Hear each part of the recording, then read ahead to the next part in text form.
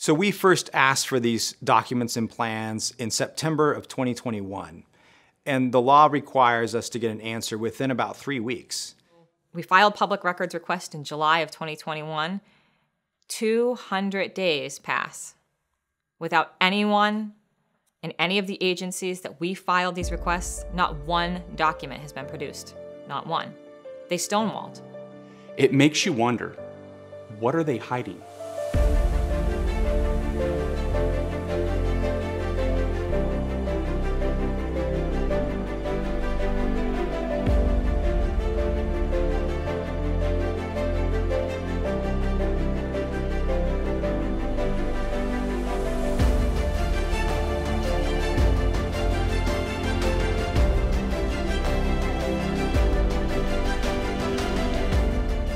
So this lawsuit is all about something that happened um, early on in the Biden administration, where President Biden released what's called an executive order uh, directing all the federal agencies to uh, get involved in voter outreach and voter registration.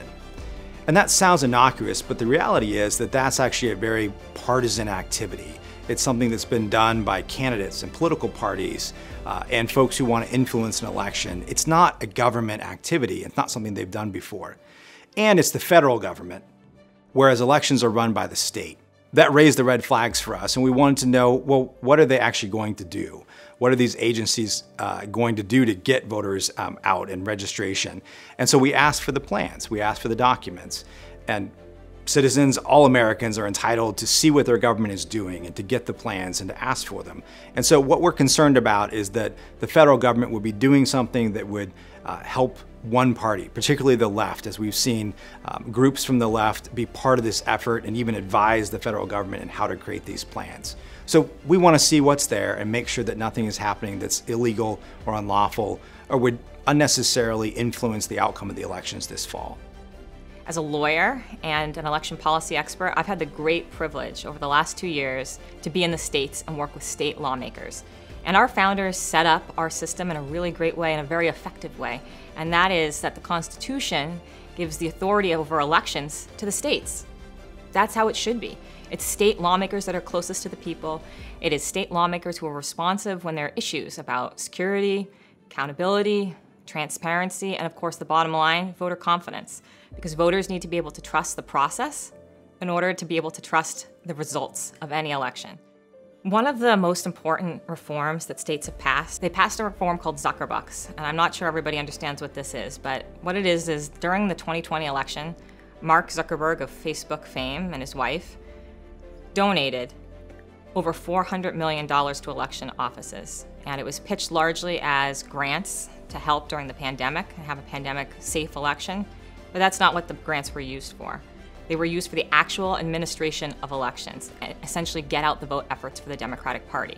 And in places like states like Pennsylvania, 90% of the grant money did not go to PPE or helping have a pandemic safe election because it allowed a third party, Mark Zuckerberg, to pick winners and losers in the elections. Fortunately, thanks in large part to a nationwide investigation FGA launched and led, 23 states have responded to this threat by passing bans to keep private money out of the administration of elections. Over the last two years, they've tried at the federal level, Congress, to pass uh, a one size fits all to federalize elections. And guess what? They failed. But Biden had a failsafe, a backdoor plan to take over elections. Biden Bucks is the name most people use when referring to the executive order signed by Biden back in March 2021, EO 14019. So we call it Biden Bucks because it's a lot like a similar election scheme the left carried out in 2020. But here's the bad news Biden Bucks is Zuckerbucks on steroids. Instead of Mark Zuckerberg leading the effort, it's Joe Biden. And instead of $400 million, it is unlimited funding and resources with the power and reach of the federal government and its offices located in states across the country. Here's what it orders Within 200 days of the date of this order, the head of each agency shall submit to the Assistant to the President of Domestic Policy, that's Susan Rice, by the way, a name that people I think are familiar with, a strategic plan outlining the ways identified under this review that the agency can promote voter registration and voter participation. Now, that sounds like a lot of legalese, and it is, But what does that really mean? That means mobilizing the Democratic vote. This is not just get out the vote, it's get out the Democratic vote. Biden, as the executive branch, the head of the executive branch, does not have authority over state elections. State legislatures do, and Congress to a much lesser degree. But what this means is it's his way of mobilizing these state based agencies. It's, it's, federal agencies that he's demanding do this, but it's their state based offices. And he's ordering, not only that, but he's ordering third parties. And I want to read to you from the executive order what he's demanding third parties do. Soliciting and facilitating approved nonpartisan third party organizations and state officials to provide voter registration services on agency premises. Again, this is a lot of legalese, but what does this mean? It means that Biden and all of his partisan appointees get to pick which third parties they want to come in and register people. So imagine that. We have no idea what qualifications, there's no vetting process. This is all being done behind closed doors. Biden Bucks was not dreamed up by the Biden administration. It was dreamed up by Demos. Demos is a well funded, radical left wing group that hates everything our country stands for and wants to destroy it and rebuild it from within. Shortly before this order was signed, Biden hired the president of Demos and its director of legal strategies and placed them into key positions to help carry out this order. One of them was even embedded into the department that is responsible for approving the legality of executive orders, including this illegal executive order. And they are now in the White House carrying out the plan they created. Now, obviously, encouraging more people to vote sounds like a good thing on the surface, and it is. At FGA, we strive to make it easy to vote, but hard to cheat.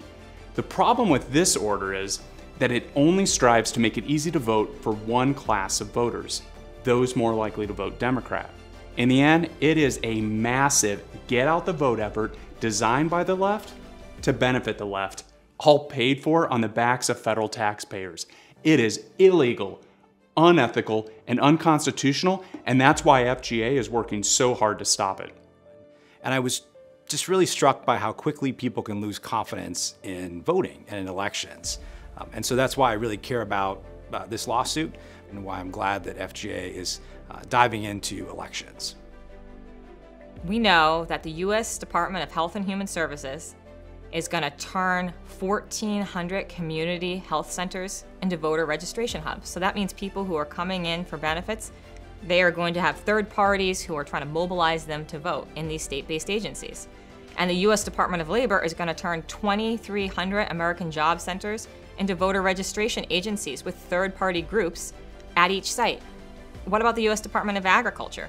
They're allowing food stamp agencies to use administrative funds to register voters. Think about this the Department of Health and Human Services, the Department of Labor, the Department of Agriculture. What role do they have in elections? The answer is none. So while the administration has released some details of which agencies specifically will help carry out this order and how, the details have been extremely limited. But what has been released is deeply troubling. Other agencies have announced similar plans to use their resources and their offices in the exact same unprecedented way. So essentially what this is going to become is votes for benefits. Okay, that is not that is not the way a federal agency should conduct business. All of these actions have one thing in common. They all center on using the power, reach, and taxpayer funded resources of these federal agencies to target specific subgroups of voters, those the left presumes are more likely to vote Democrat. Again, this is not about voter registration. It is about turning out only one kind of voter for the next election. Well, we waited, and we still hadn't gotten anything by July of 2022, so almost a year after we'd asked for them. And that's when we felt like we really had to file this lawsuit just to get these documents and find out what are they hiding? What is it that's so hard for them to provide uh, for, for us to see and the American public to see? If there's nothing sinister in the plans, why not simply share them with the American people? We wanted to shine a light on Biden Buck's scheme and gather evidence we could share with state and federal lawmakers to help stop this scheme before the midterm elections. And this was like almost his insurance policy, all right? So if we can't federalize elections through Congress, he put this in as an insurance policy as a, as a backdoor way to get what he wants. We filed public records request in July of 2021. 200 days pass without anyone in any of the agencies that we filed these requests, not one document has been produced. Not one. They stonewalled. The American people have a right to know the full details of this unprecedented effort by the president before it's too late. So, in response, FGA has sued the Department of Justice in federal court. We believe that a federal order commanding the DOJ to respond to our lawful request will spur the other agencies to also provide the requested documents. If it doesn't, we'll sue them too. You, under the law, federal government, you have an obligation to the voters to provide these documents. So that was 200 days past. So in April of 2022, we filed suit against the Department of Justice. And just in July of 2022, a federal judge agreed with us. Yeah, so on July 12th, the judge made a ruling in our case firmly rejecting the Biden administration's effort to delay providing us the documents the law requires until, get this, they wanted to wait until next year.